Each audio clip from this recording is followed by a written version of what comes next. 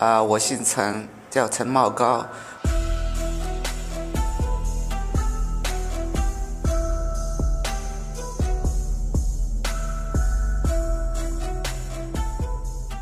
我来自中国四川泸州，我现在在科伦坡 City City，然后做厨师工作，然后在中国美食街。我家是在一个，就是说很美丽的一个乡村，然后我家里有父母，然后我母亲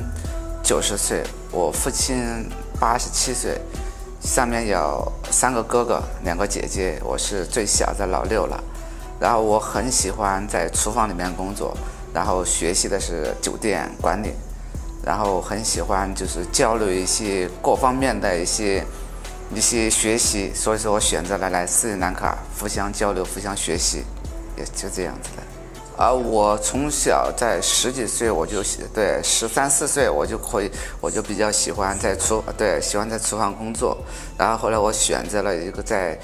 就是学习这个酒店管理、厨师管理这个学校，学习了是四年。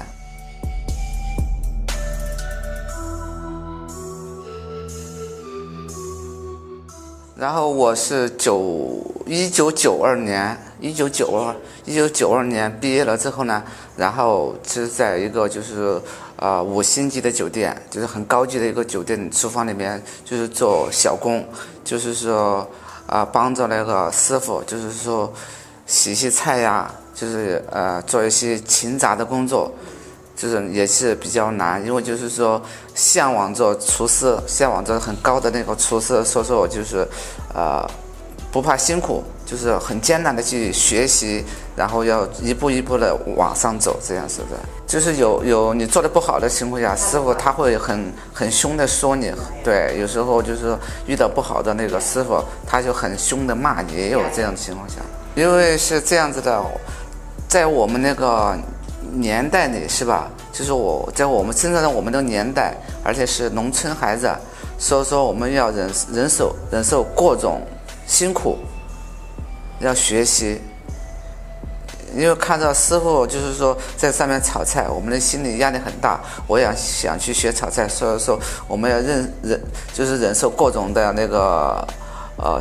艰难，对各种艰难要去学习。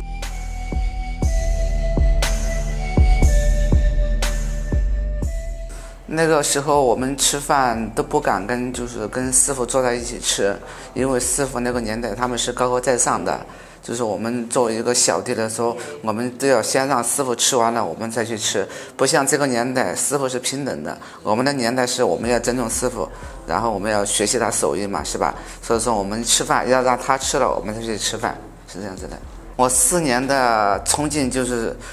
就是很想学会这个师傅，一直努力去学习师傅。四年出来之后，我就可能就是一个就是一个师傅了，就是可以就是说在钱方面。我就可能会比较多一些了，因为之前学习的时候基本上没有钱，没有没有工资的，然后就是四年出来之后，那可能我们就是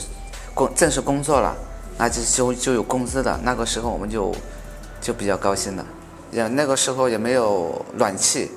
有时候我们就是睡觉的时候都是整个把头都盖起来睡的，要不它就特别冻特别冷，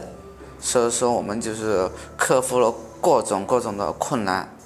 要去学习，要去向往，就是说高级厨师，然后这样子的，慢慢在北京几年之后呢，然后我现在就是师傅了，师有师傅，那肯定就是说，不管就是各种待遇，吃的、住的都就比较好了。